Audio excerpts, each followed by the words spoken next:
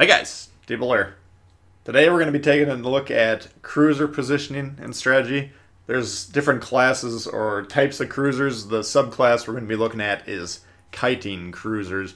Uh, typically these are going to be the French and Japanese, in my mind at least. Uh, we have Ryu on the screen, or we did a moment ago.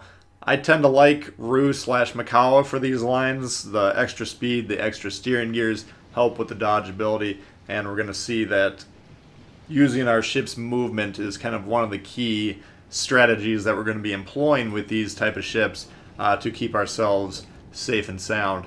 So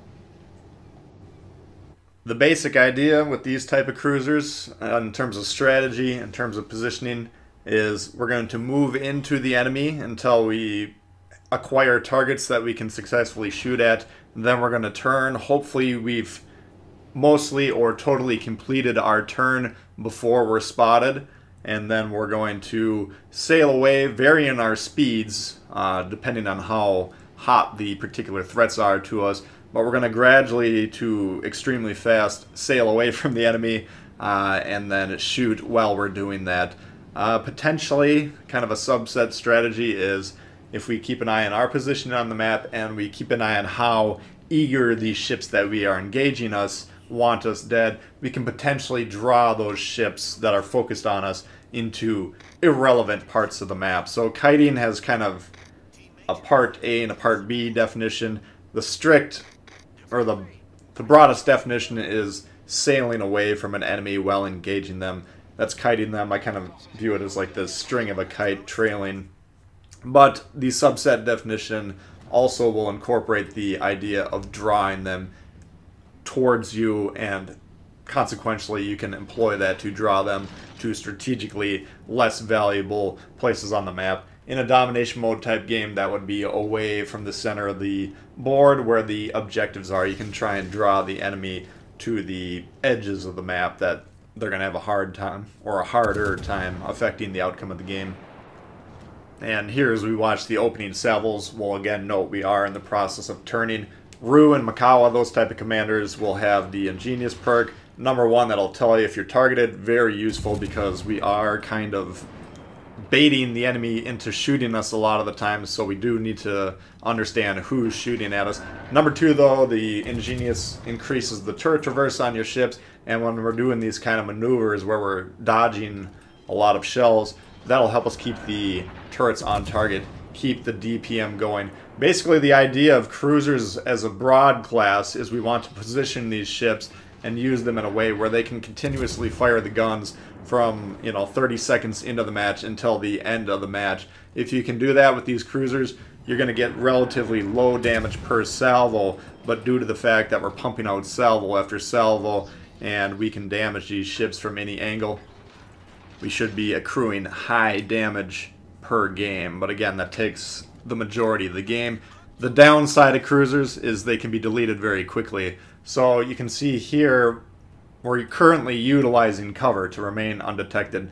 And as we're going to be kiting around and sailing around, you naturally need to be keeping an eye on when am I spotted, when does that spotted icon drop off. Whenever it drops off, that means you're in a spot where you can temporarily stay there, fire under cover, and every shot that you can take while you're not detected is a free shot where you're guaranteed to not take return damage. So it's, you know, you'll be able to find those positions more and more as the map or the match goes on due to the fact that there's going to be less ships on the enemy team with uh, lines of sight towards you. But even early on, you can find them. Uh, it's we're not going to be hugging islands or anything like that uh, throughout the match here. We're going to stay mobile. And you can see now how we're positioning. We're turning the rear of our ship towards the bulk of that fleet here, and then we're sailing, we're continuing to sail away. But the ships to the east on the map, they don't really have great options to fire at us. And by turning around here, we were able to get back under cover.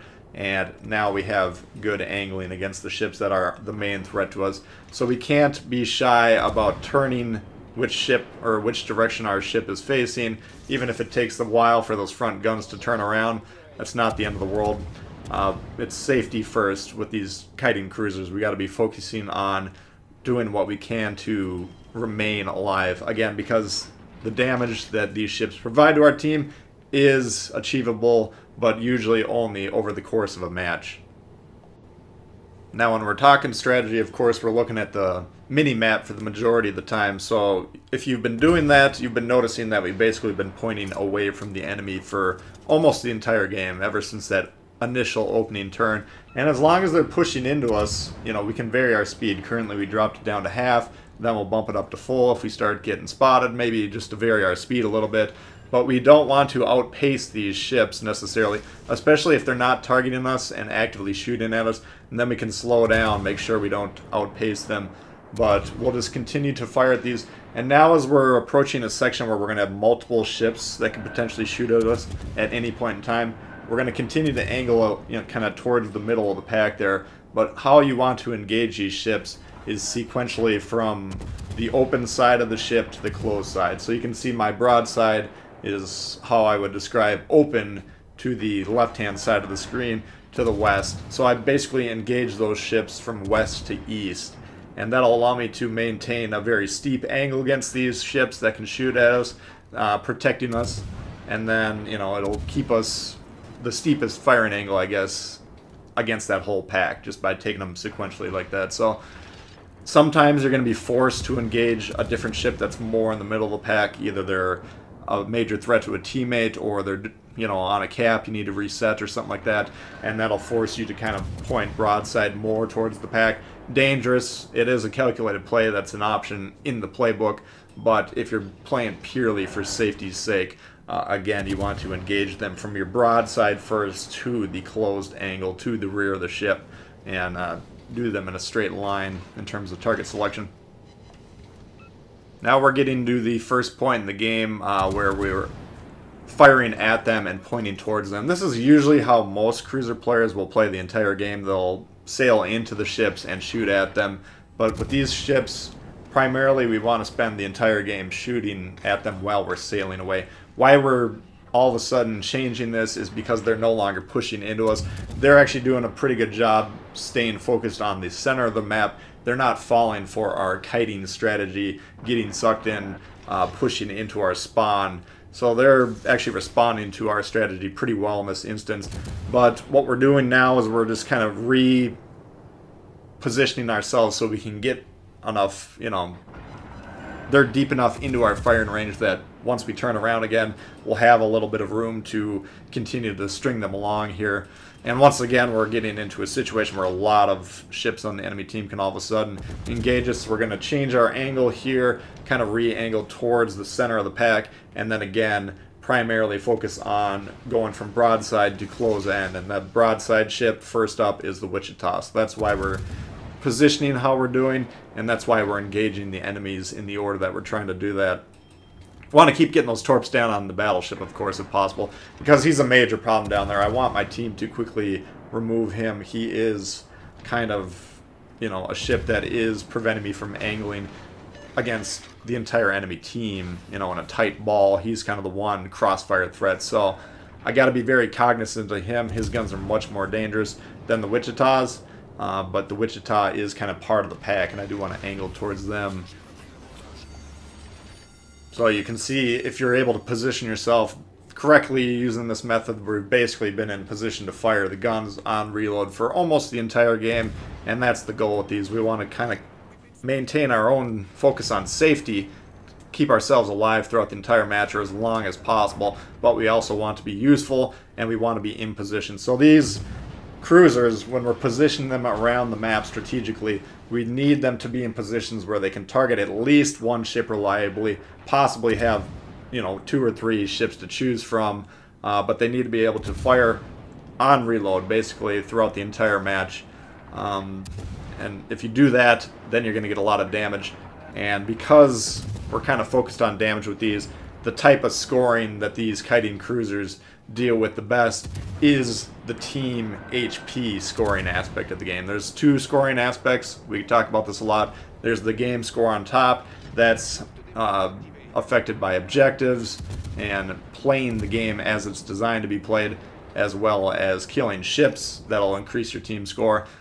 The other less obvious scoring method is just the peer. you take the entire team's total HP of all their ships, add them together. That's the team HP. When you whittle that down to zero, of course, you win that way. So these pure damage dealing, kiting type of cruisers usually have more impact on the team HP aspect of the game, but they can be important in domination mode games uh, and the team score aspect of the game as well. As long as you're keeping a very good eye on the map and seeing what needs to be done, keep an eye on the objectives, keep an eye on you know what part of the map needs support. Shoot the destroyers when they pop up. Those are critical pieces that are primarily the main scores of the team score aspect of the game.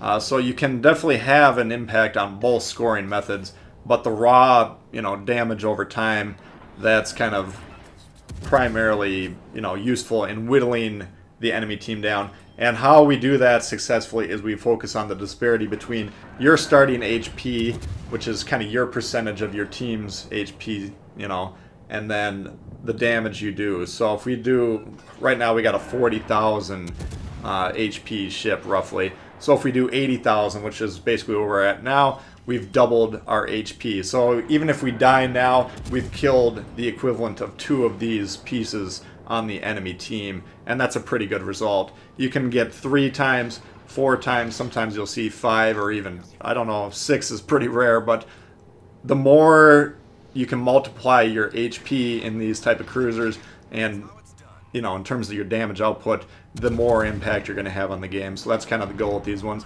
Anyway, that's a look at the kiting cruisers for you guys. Hope you guys did enjoy it. If you did, please hit the thumbs up. If you're new to the channel, consider subscribing. A lot of World of Warships coming all the time. Questions, comments, leave them below. Love to hear from you guys. And we'll see y'all later. All right, peace.